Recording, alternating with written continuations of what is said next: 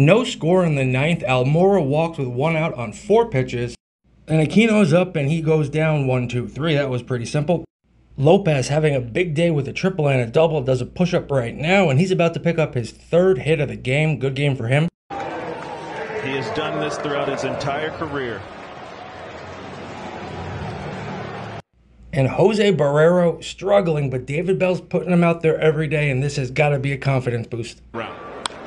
Grounded up the middle. That skips into center. Windmill is on at third.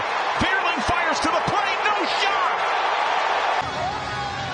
And David Bell has given him the opportunity to go out there and play.